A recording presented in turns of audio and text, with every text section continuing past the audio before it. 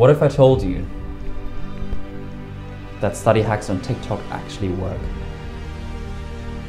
I started using TikTok a couple of months ago, and since then, it has helped me firmly adjust my attention span to goldfish. But quite surprisingly, I'm still able to learn an impressive amount of things within just 30 seconds or so, including study hacks. Hey, it's Patrick here. Hope you're doing great. I'm a PhD student at Oxford, and today I will try out some TikTok study hacks and tools so you don't have to. Let's go. Should publications be free or not be free? It's something that academics have argued since the Stone Age.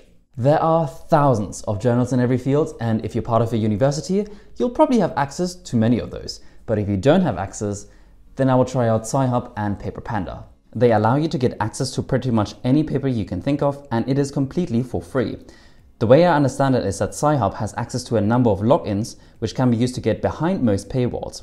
Once a paper is downloaded, they keep a copy, and if they don't have a copy yet, they can easily get access to one. Sounds questionable, but hey, if it's for free, it's for me. Now, Paper is the same, but better. It's a Chrome extension and runs Sci-Hub in the backend. Whenever you have a paper you want to read and you cannot get access to it because it's behind a paywall, like in this example, click on the Paper Panda extension and you get that paper immediately.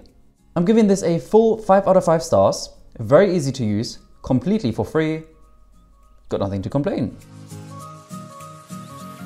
Patrick, would you take the blue pill to read the full paper? Hmm. Or the red pill to read the summary? Scholarcy summarizes research papers, reports, and book chapters and breaks them down into small bite-sized sections. Let me show you how this works. First, download the Chrome extension, and second, look up any paper you want, click on the extension, and you can start exploring the summary, like here. It summarizes each section for you, and if you click on the full text, it will highlight the sections it took to generate that summary. This is definitely a very useful tool to have, but it's not a substitute for reading papers. Don't be lazy. I'm giving this a 4 out of 5 stars. I never really had issues with it, but it's not the most accurate in some cases. This is a beautiful tool. It's still in the beta phase, so you can only test it on a couple of papers, but I really hope that they add this feature with all the papers that's available on Semantic Scholar. Two things this offers. One, if you click an in-text citation, you can see the abstract for that citation. You don't have to worry about opening a new tab to open this paper. It's very simple and very convenient. It also shows you all the other important stats like number of citations, etc.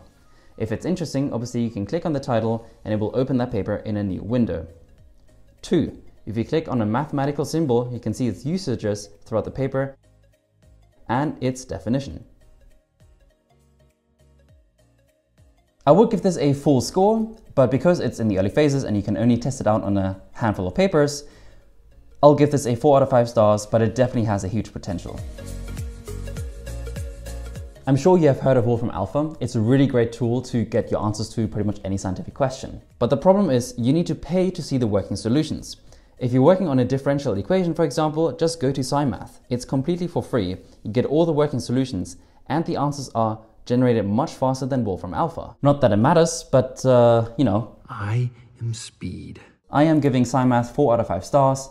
I think it's a great tool, very easy to use, very fast, completely for free, but the problem is that it is limited to only a handful of mathematical operations. That's it for today. As always, thank you so much for watching. I really do appreciate it. I love you guys, and I'll see you in the next one.